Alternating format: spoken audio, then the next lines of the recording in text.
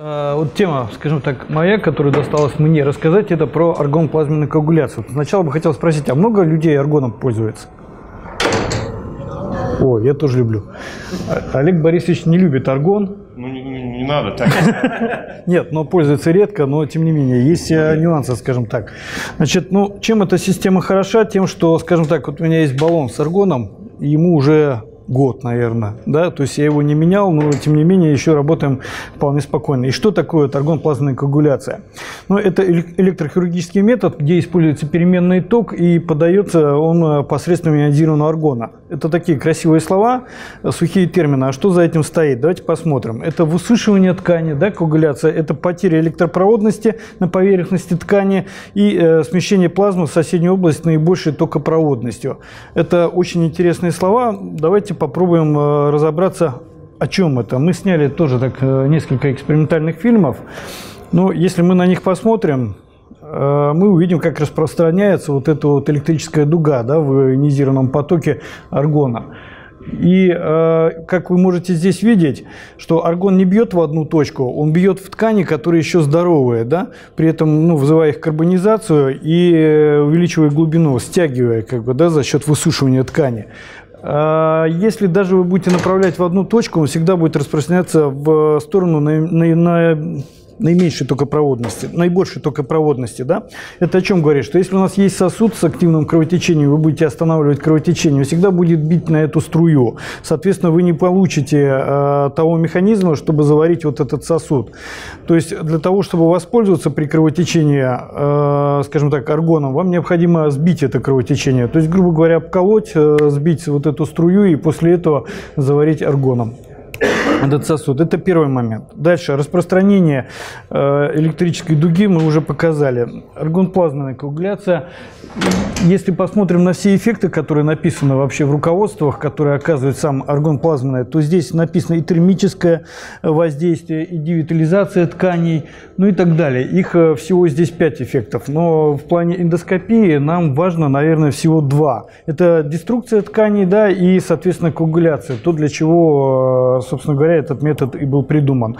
Э, В плане наших активных применений, то это кровотечение, это диссекции, это, скажем так, реканализация или деструкция тканей, это, скажем так, э, коагуляция диффузных и острых кровотечений по всему желудочно-кишечному тракту, ну и так далее. Список достаточно большой, где мы его можем э, относительно безопасно применять. Э, Что касается воздействия на ткани, значит, смотрите, по времени аппликации, соответственно, чем больше время воздействия на ткани, соответственно, больше э, глубина проникновения аргона. Ну, в принципе, все логично. Единственное, есть э, так называемый режим Precise, о котором Алексей уже, ну, скажем так, упоминал, э, который имеет э, ограниченное время воздействия, и оно, э, скажем так, регулируется ну, способом обратного взаимодействия, скажем с электродом. А, Здесь мы попробовали подобрать мощность да, и время воздействия. Вот в данном случае вы видите воздействие 30 ватт. Ну, соответственно, чем дольше воздействие, то, соответственно, бо- больше глубина проникновения. Это раз. И 30 ватт э, на коротком расстоянии ну, дает достаточно такой маленький эффект прогревания ткани. Использование 40 ватт, это различие уже становится более значимым. И вот вы на слайде можете видеть, насколько сразу глубина увеличивается. То есть, соответственно, если мы э, имеем под собой основание ну, для того, чтобы вызвать деструкцию ткани, мы применяем большие мощности и более продолжительное время воздействия. Если обратите внимание еще на одно обстоятельство, э, это расстояние вот этого зонда от ткани, оно где-то э, 2-5 миллиметров необходимо для того, чтобы э, вызывать э, все те эффекты, которые мы здесь с вами наблюдаем. Э, Это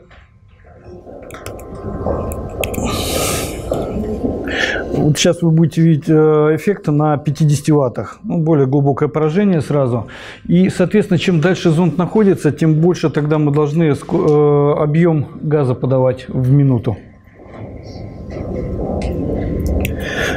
Э, дальше. Расстояние от зонда, вот то, что мы сейчас с вами разговаривали, ну вот видно, чем дальше зонд находится от ткани мишени, тем меньше эффект начинает проявляться. Соответственно, требуется либо больше газа и, соответственно, больше напряжения для того, чтобы вызвать подобный эффект. А, еще очень интересный такой клинический аспект, который мы для себя отметили, это раз, наличие разных зондов. Оказывается, они не просто прямые, и большинство из потребителей, скажем так, которые пользуются аргон-плазменной коагуляцией, вот такие зонды типа вот э, бокового э, и, соответственно, э, с круглой струей, ну, в принципе, не воспринимают и никогда не покупают. В принципе, здесь все логично нарисовано. Если прямой зонд, он может использоваться универсально везде. Собственно говоря, да, то боковой зонд как бы только там каких-то сложных ситуациях, когда нужно там сбоку закруглировать, ничего подобного. Мы привели несколько таких же вот манипуляций с этим зондом. Ну, здесь показано традиционное его воздействие. Чем оно хуже? Э, для вот этого способа необходимо расстояние от ткани до зонда. Тогда, когда э, зонд вот этот будет прикасаться к ткани, он может вызывать э, потоком воздуха разрыв ткани и, соответственно, попадание аргона под слизистый слой, разрыв этих сосудов, и можем получить то же самое кровотечение. То есть мы должны с ним работать крайне аккуратно в этой области. Но у нас есть такая опция, как зонд боковой, когда мы работаем в очень узких пространствах, скажем, в кишке или в двенадцатиперстной кишке, когда мы используем вот этот боковой зонд, мы его просто прислоняем соединяем ткани, и при этом ну, не происходит э, разрыва этой ткани, попадания газа в последствий слой. Многие, наверное, наблюдали вот этот эффект, когда использовали. Э, мы можем работать им и как э, боковым зондом, то есть коагулируя, и так а, как обычным зондом прямым непосредственно приживаясь ткани. При этом угол направления вот этого бокового зонда практически никакого значения не имеет. То есть мы можем его поставить даже таким вот образом, прижав к сосуду и выполнить аргон-плазменную коагуляцию, при этом мы получим тот же эффект, который мы и ожидали от обычного прямого зонда. Э, ну, то есть, по сути, вот эти два последние, боковой и круговой, э, круглые, да, они э, являются такими контактными зондами, когда вот прямой зонд, он является ну, предназначен для бесконтактного коагулирования. Ну и несколько клинических случаев применения, скажем так, аргон-плазменной коагуляции в нашей практике. Вот пациент с опухолью выходного отдела желудка, это низкодифференцированная аденокарцинома, пациент был признан неоперабельный, ему мы поставили стенд, выходной отдел желудка. Э, пациент это был родственник сотрудника, они сами, вся семья хирурги. В принципе, очень достаточно хороший уход за этим больным. Соответственно, через 5 месяцев он появился у нас снова, уже с другой проблемой, проблемой прорастания этого стента опухолевой тканью. Э, ну и, соответственно, наша задача в данной ситуации была выполнить реканализацию этого стента. Ну, вот вы видите, как установлен первичный стенд, вполне проходим. Э, установлен нормально, правильно. Я буду немножко пролистывать, чтобы время так сократить. Ну и, соответственно, вот эта картина, когда пациент нам пришел снова через 5 месяцев. Мы видим, что полностью стенд зарос э, опухолью. Мы снова получили ту же, э, скажем так, дисфагию. Ну и, соответственно, э, дальше мы прибегли к такому способу девитализации ткани, как аргон-плазменная коагуляция. Скажу сразу, что это продолжалось где-то в протяжении часа-полутора, то есть мы выжигали последовательно вот эти вот все опухолевые ткани в этом стенте. Пробовали даже взять э, на каком-то этапе щипцы для горячей биопсии и провести э, девитализацию ткани при помощи них. В принципе, когда мы имели достаточно крупные грануляции, это было вполне возможно, но надо учитывать то, что сам стенд является металлическим и только проводным э, стентом. То есть касание щипцов об этот стенд. Э, собственно говоря, мы не знали, где эта электрическая дуга могла была закончиться, поэтому э, в этом случае мы использовали э, сам аргон. Еще больше скажу, один из эффектов аргон-плазмы связан еще с тем, что он может пересекать нитиноловые вот эти вот нити вполне спокойно. Потому что когда мы будем, ну, если, скажем, возьмем нож для диссекции, он будет прогревать сам металл, и металл будет выступать в роли режущей поверхности. Используя аргон, как аргоновая сварка, языка мы можем просто, скажем так, фрагментировать вот этот стенд при помощи самого аргона. Но вот э, видите, да, эффект, который мы наблюдали уже где-то минут через 40, ну и, соответственно, дальше, используя аргон плазменную коагуляцию, э, видите, при этом мы используем даже боковой зонд, э, чтобы не чтобы, ну, скажем, в узком пространстве мы могли соприкасаться с тканями. Ну и после девитализации, вы видите, да, мы свободно убрали вот эту вот всю ткань. пробили канал в этом стенте и э, выполнили установку стенд-стенд. Ну, сейчас пролистаем немножечко вот этот момент. После установки стента, естественно, он был потом э, чуть-чуть спозиционирован более правильно, пациент прожил еще 6 месяцев в принципе, достаточно свободно, самостоятельно питаясь. А, дальше. Вы видели такой слайд, где были показаны различные режимы органоплазменной коагуляции. Это пульс или импульсный режим, да, так называемый форс э, режим коагуляции, ну и, соответственно, пресайз режим коагуляции, так называемый. Но если вы обратите внимание вот на все эти точки, здесь очень четко показан эффект. Но самый первый главный эффект – это э, та зона с наиболее коагуляцией, да, и зона прогревания тканей. Очень часто после, скажем так, нашего вмешательства, спустя какое-то время, вот это вот ореол, который возникает здесь, он полностью восстанавливается, а зона, э, скажем так, э, самого ожога ну или девитализации, или же омертвевшей ткани, она находится вот здесь в центре. Это было связано с э, проблемой так называемого похороненного барота при аргонплазменной коагуляции, когда начали впервые это делать. Последняя методика, которая сегодня применяется, вот, э, ну, благодаря компании РБ с э, введением раствора под слизистый слой, когда мы можем полностью сжечь вот эту слизистую, потом колпачком ее счистить, и такую манипуляцию безопасно повторять два раза за счет создания вот такой подушки безопасности. Здесь есть еще одни особенности, особенности, скажем, связанные с органоплазменной коагуляцией, это показания для его применения в различных тканях. Ну, вот если обратите внимание на эту табличку, то здесь э, написано, что для желудка э, и прямой кишки больше характерно использование агрессивных методов органоплазменной э, коагуляции – это импульсная и, соответственно, форс-коагуляция. Тогда как есть такой режим, как пресс который используется для, ну, используется для гемостаза в 12-перстной кишке, ну и, соответственно, в правых отделах толстой кишки, где имеется наиболее тонкая стенка. Для чего это нужно? Давайте попробуем посмотрим э, вот на такой вот э, биомодели. Да? То есть здесь мы используем сначала форс-режим коагуляция. Э, мы видим достаточно мощный режим, э, получаем участок коагуляции. Дальше мы используем режим Precise э, с различными эффектами. Их три. один, два и три. Использование эффекта 1 ну, фактически нам не дает никакой коагуляции, тогда как использование эффекта 3-5 э, дает нам уже коагуляцию без выраженного образования струпа и без глубокого проникновения. Еще больше скажу, что при сайз ограниченного времени, то есть вы не сможете нажать педали и два часа его держать. Аппарат ну, начнет ругаться какой-то определенный промежуток времени за счет того, что он замеряет уровень нагрева тканей. Соответственно, это снижает риск отсроченной перфорации.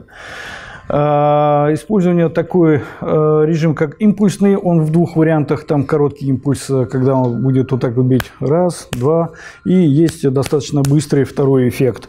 А, это более агрессивные режимы, хотя они находятся между форс и ну, более агрессивные режимы и чаще всего применяются в основном только для деструкции ткани на сегодняшний момент. Дальше. Э, что такое режим Precise? Э, мы с вами посмотрели импульсный режим и посмотрели режим Force.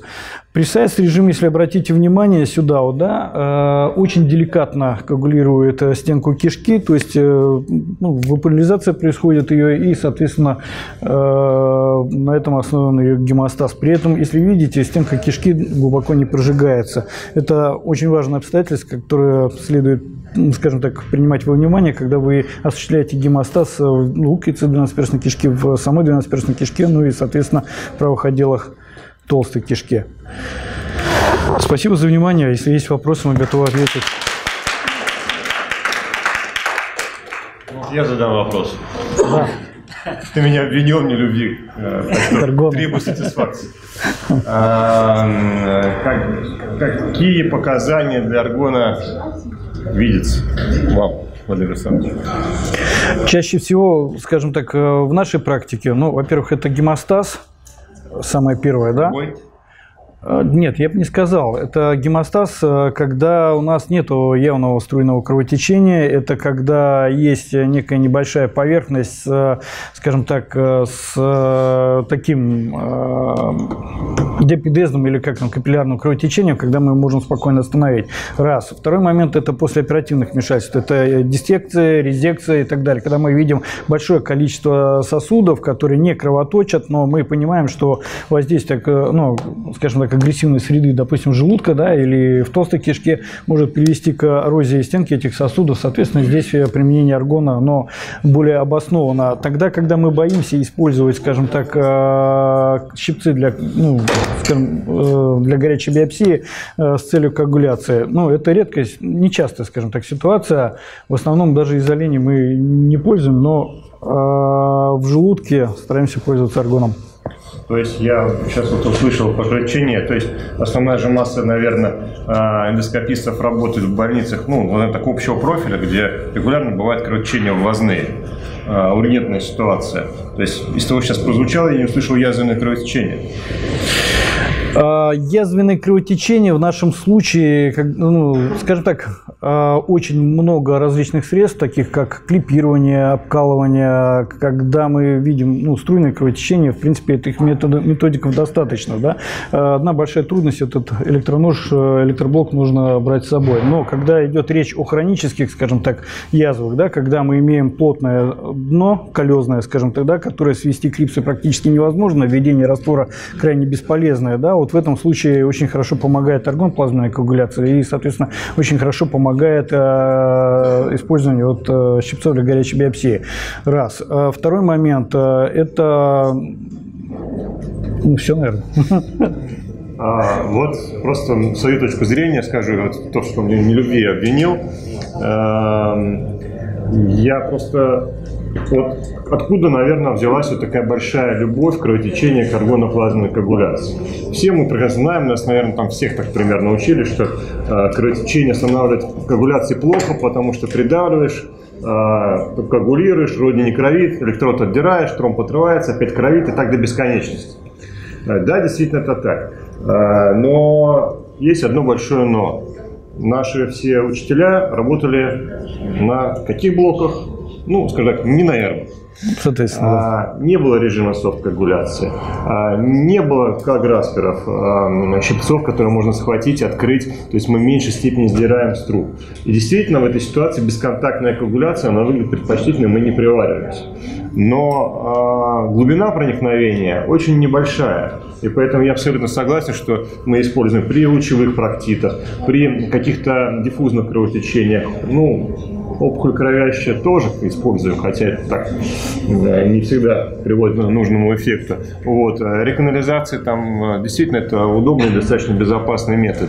Но язвенное кровотечение – это очень спорный момент, потому что, ну скажем так, у меня достаточно много негативного опыта, когда и активное кровотечение, то, что Владимир Александрович говорил, наваривается с густком на катетер и не позволяет заварить, собственно, сам сосуд. Пока ты не переведешь кровотечение в подтекание небольшое, а, собственно, эта коагуляция не дает того эффекта, который ты ждешь, а это не всегда но не то, что может быть возможно, не всегда это время есть. То есть ты уже вроде взял катетер, уже хочешь гемостаз получить, не получается. Поэтому я считаю, что э, для меня аргон – это вот мы перечисленные методы гемостаза, такие диффузные, это пищевод Баррета, который действительно, я ничего против радиочастотной абляции не имею, но цена несопоставима. Для нашей страны это просто ну, неподъемная а, на сегодня история, поэтому аргон был, есть и остается, наверное, наиболее э, выгодным э, финансово и достаточно а, безопасным и эффективным методом при всем при этом.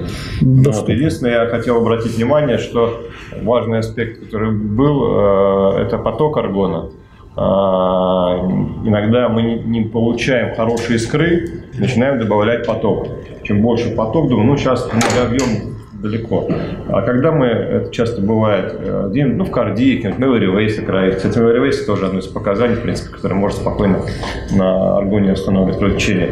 Под углом стоим, поток-то идет вперед, не, не бок, не все, если прямой катетер, опять-таки, да, не без шарика. И мы не получаем вроде удлинения расстояния, но все равно надо очень близко пододвигаться. Но а, я лично в своей жизни видел, слава богу, не у нас, но я, э, скажем так, один раз видел, один раз достоверно знаю об осложнениях разрывы желудка на, вообще на фоне постоянной инсуфляции газа, то есть такой огромный поток, мы же глотку закрываем э, э, эндоскопом, с регионе не идет.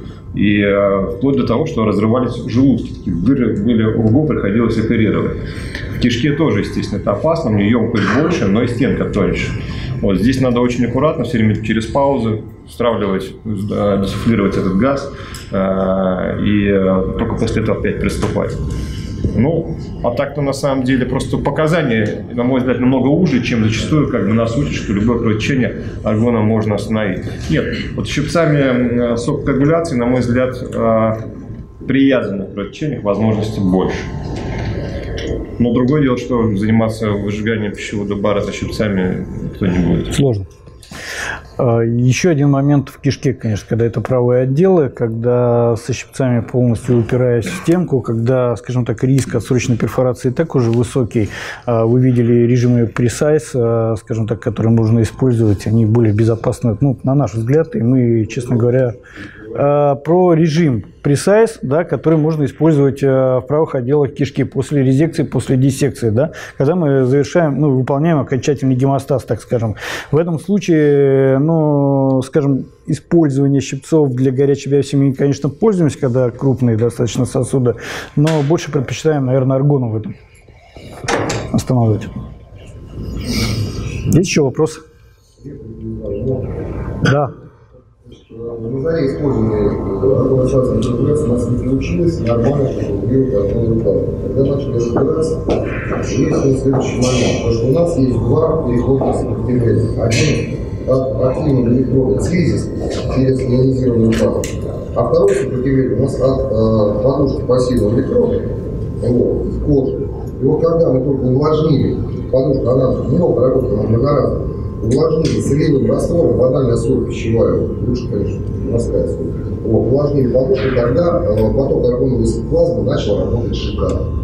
То есть вот обращать всегда внимание на, на сам электрод подушки пассивного электрода. Если она сухая и тоже сухая, аргоновая плазма банально не будет работать.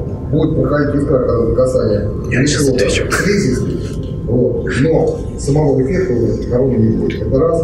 И второй момент, что касается кровотечения, то есть утешает сказать такую вещь, они приведут импеданс слизистой. То есть, когда ты, прежде чем идти на коагуляцию сосуда или паровазальную коагуляцию, обязательно проверить, насколько эффективно работает этот. То есть коснуться слизистой, где ты так на месте антральный отдел, посмотреть, насколько эффект коагуляции идет в нормативном месте.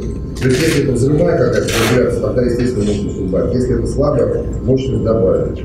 И по поводу приваривания электрода э, к месту коагуляции. Э, у Дворецкого есть книжка, которая хорошая, высокочастотная электрохирургия, 86 года издания. И там две, есть выделены две идеальные модели монополярного электрода, охлаждающий и инъекционный. Обратите внимание на свои электроды, сумочки, которые называем. Есть головка маленькая, есть головка большая. Вот та большая, это охлаждающая, он не даст прилипания, но даст потом глубокий некроз через сутки двое. Маленькая головка быстро прикипит, быстро пригорит, и с ней, естественно, пройдет отрыв той ткани, которая она живет. То есть вот я здесь не совсем с вами соглашусь. Вы сейчас говорите свой опыт. Какой у вас электроблок? генератор? Раньше работал на ХВЧ 500, на Эрго недавно. Вот. И я прекрасно понимаю, откуда О вот чем это речь все. да, потому что нет обратной связи.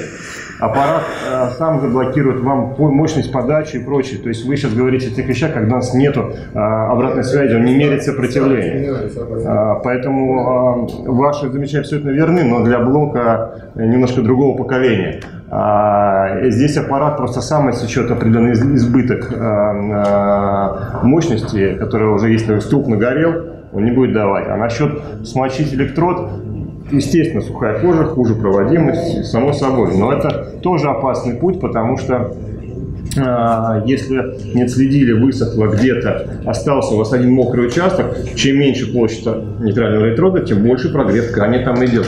И отсюда и берутся эти ожоги как раз-таки на пассивных электродах. Почему сейчас компании, в принципе, э, ну, скажем так, конечно, не могут категорически против, но они так очень мягко нас всех толкает на одноразовые наклеечные электроды, потому что там мерят сопротивление между ними, как наклеен электрод. Криво, плохо, большая разница сопротивления на двух, на, ну, как бы на двух этих э, пластинах, одного электрода имею в виду, э, он не даст нам включиться просто.